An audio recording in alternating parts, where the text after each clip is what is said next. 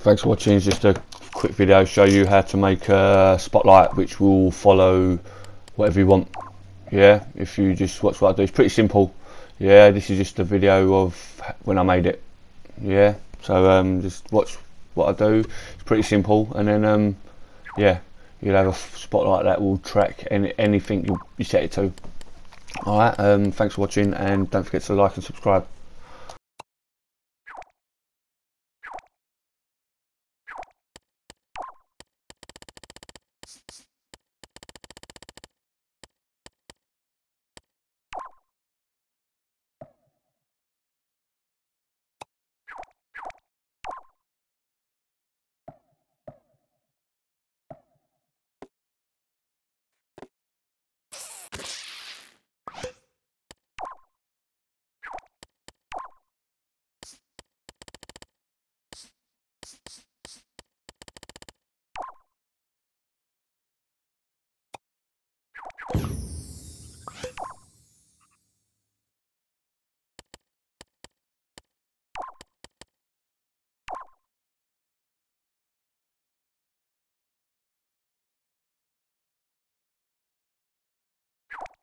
You